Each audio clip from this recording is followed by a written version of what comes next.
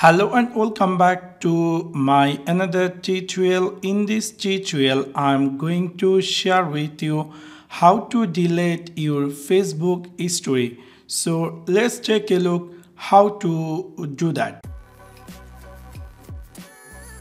Maybe somehow or some cases you're looking for how to delete your Facebook history in order to do that it's really very easy and simple. You need to open your facebook application. After open your facebook application if you share any history today you will see in uh, facebook upper side there is a appear your history. That means just now today you had shared something it's appear your history. So if you open this your history you will see your history and if you decide to uh, delete your history you need to open, click this three dot and then you will see a pop-up option appear. You need to click here delete photo. So after click our delete photo you will see a confirmation message do and delete photo from your history. If you decide to delete you need to click this delete within this simple way you can also deleting your other history as usual.